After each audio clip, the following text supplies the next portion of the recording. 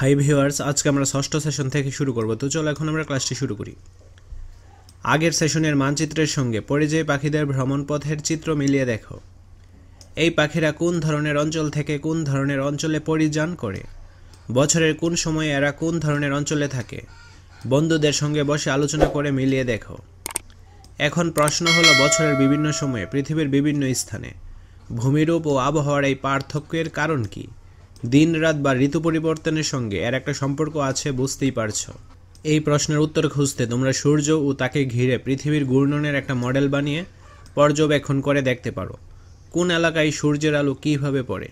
শুরুতে তোমাদের আগেই তৈরি করে রাখা পৃথিবীর মডেলে প্রধান কয়েকটি ভৌগোলিক এলাকা বিভিন্ন রং দিয়ে চিহ্নিত করে নাও।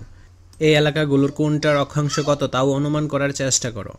এবার সূর্যের মডেলে হিসাবে যে কোনো একটি আলোর উৎস ঠিক করে নাও। যেমন মোমবাতি বা এলইডিও ব্যবহার করতে পারো। এবং তার চারপাশে তোমাদের পৃথিবীর মডেলটাকে ঘুরিয়ে দেখো, ঘূর্ণন পথের কোন অবস্থানে থাকাকালে পৃথিবীর কোন অঞ্চলে সূর্যের আলো কীভাবে পড়ছে, সূর্যকে ঘিরে পৃথিবীর ঘূর্ণনের পথ এবং এই ঘূর্ণনের ধরন বোঝার জন্য। অনুসন্ধানী পাঠ বইয়ের সূর্য পৃথিবী চাঁদ, অধ্যায়ে সূর্যকে ঘিরে পৃথিবীর ঘূর্ণন অংশের সাহায্য নাও। পর্যবেক্ষণের ভিত্তিতে পরের ছকটি পূরণ করো।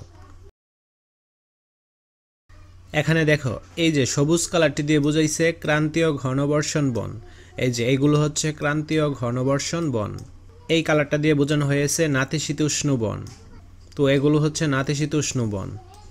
তারপর এই কালারটা দিয়ে বোঝানো হয়েছে মরুভূমি। এই যে এইগুলো হচ্ছে মরুভূমি। দেন এইটা হচ্ছে তুন্দ্রা অঞ্চল, এই কালারটা দিয়ে, এই যে এই কালারগুলো হচ্ছে তুন্দ্রা অঞ্চল। তারপর রয়েছে তাইগা এবং তৃণভূমি। সাবান্না বা ট্রপিক্যাল তৃণভূমি, মিঠা পানি, সামুদ্রিক এবং বরফাবৃত অঞ্চল। তো চলো এখন আমরা এই ছকটা ফিল করে ফেলি।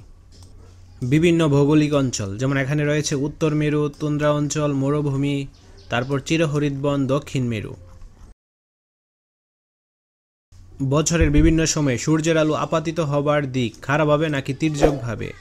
একুশে মার্চ উত্তর মেরুতে তির্যকভাবে, তুন্দ্রা অঞ্চলে তির্যকভাবে। মরুভূমিতে খারাপভাবে চিরহরিৎ বনে খারাপভাবে দক্ষিণ মেরুতে খারাপভাবে পড়ে একুশে জুন, উত্তর মেরুতে খারাপভাবে তুন্দ্রা অঞ্চলে খারাপভাবে মরুভূমি চিরহরদ বনেও খারাপভাবে দক্ষিণ মেরুতে তির্যকভাবে তারপর তেইশে সেপ্টেম্বর পরে তির্যকভাবে বাইশে ডিসেম্বর তির্যকভাবে দিনের দৈর্ঘ্য, শুধুই দিন, দিনের দৈর্ঘ্য রাতের চেয়ে বেশি, রাতের দৈর্ঘ্য দিনের চেয়ে বেশি, দিন ও রাতের দৈর্ঘ্যের কাছাকাছি বা শুধুই রাত। একুশে মার্চ, উত্তর মেরুতে দিন ও রাতের দৈর্ঘ্য কাছাকাছি। একুশে জুন, দিনের দৈর্ঘ্য রাতের চেয়ে বেশি। তেইশে সেপ্টেম্বর, দিন ও রাতের দৈর্ঘ্য কাছাকাছি। বাইশে ডিসেম্বর, রাতের দৈর্ঘ্য দিনের চেয়ে বেশি। তুন্দ্রা তুন্দ্রা অঞ্চলের গুলাও এখানে দেওয়া রয়েছে। তোমরা অবশ্যই এগুলো খাতায় নোট করে নিতে পারো। ঠিক আছে?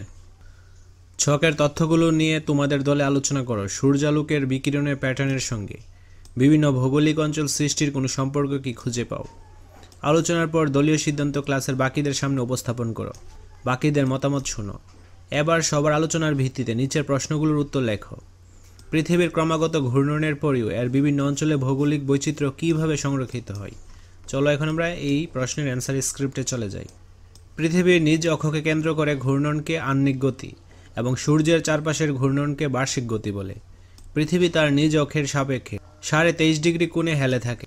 এই হেলানো অক্ষ নিয়ে পৃথিবী সূর্যের চারপাশে একটি উপবৃত্তকার কক্ষপথে ভ্রমণ করে। যেহেতু পৃথিবীর কক্ষপথ ও হেলানো অক্ষ ঋতু পরিবর্তন ও দিনের আলোর সময়ের দৈর্ঘ্যের জন্য দায়ী, তাই এগুলো জলবায়ু ও ভূপৃষ্ঠের উপর উল্লেখযোগ্য প্রভাব রাখে। এর ফলে পৃথিবীর বিভিন্ন ভৌগোলিক অঞ্চল যেমন মেরু অঞ্চল, তুন্দ্রা অঞ্চল, মরুভূমি চিরহরিৎ বন ও পার্বত্য অঞ্চলে বিভিন্ন ধরনের জীব দেখা যায়। অর্থাৎ এসব অঞ্চলে উদ্ভিদ ও প্রাণীর বিভিন্ন ধরনের বৈচিত্র্যতা লক্ষ্য করা যায়। আজকের ক্লাসটি এই পর্যন্তই। পরবর্তী ক্লাসটি আমরা এই সেশন থেকে শুরু করব। ধন্যবাদ সবাইকে।